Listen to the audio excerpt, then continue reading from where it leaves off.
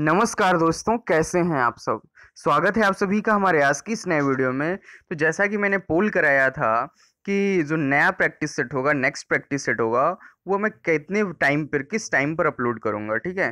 तो अधिकतर बच्चों ने बताया था कि 10 बजे के आसपास, ठीक है? तो मैंने उसे अपलोड कर दिया है। आप फटाफट जाइए और प्रैक्टिस सेट टू सॉल्व करिए। देखिए, मैंने अपलोड किया है मेंटल एबिलिटी यानी रीजनिंग का। प्रैक्टिस सेट वन, ये तो कल ही अपलोड कर दिया था। प्रैक्टिस सेट टू, आज अपलोड किया है। ये देखिए। तो फटाफट करिए आप लोग और हाँ बताइएगा। मीन्स कल जो मैंने अपलोड किया था उसको बहुत सारे बच्चों ने तो अच्छा किया।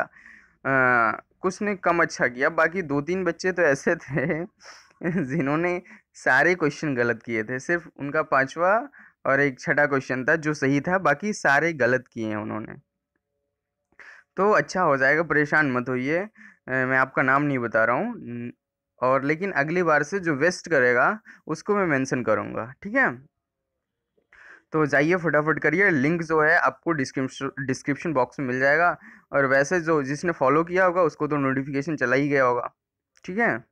तो ईमानदारी के साथ करिएगा। पच्चीस क्वेश्चन है, कम से कम पच्चीस मिनट या फिर तीस से पैंतीस मिनट से ज़्यादा नहीं लगना चाहिए। अगर उससे ज़्यादा लगाते हैं आप तो टाइम मैनेजमेंट करना सीखिए, नहीं तो आपके एग्ज़ाम टाइम में प्रॉब्लम हो जाएगा, ठीक है? बहुत ज़्यादा प्रॉब्लम क्रिएट होगी आपकी, क्योंकि क्वेश्चन पे, अगर यहाँ पर निगेटिव मार्किंग नहीं है इलाहाबाद में क्वेश्चन पेपर छूट जाएँगे आपके, क्या फ़ायदा?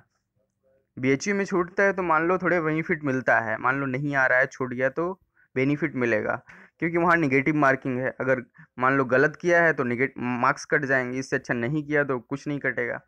तो इसलिए इलाहाबाद के केस में क्या है आपको कि सारे क्वेश्चन अटैम्प्ट करके ही आने हैं। बढ़िया सा टाइम मैनेजमेंट करना है। तो जाइए, फटाफट करिए। मिलते हैं नेक्स्ट वीडियो में। ख्याल रखिए, कोई डाउट हो तो कमेंट सेक्शन में पूछ सकते हैं।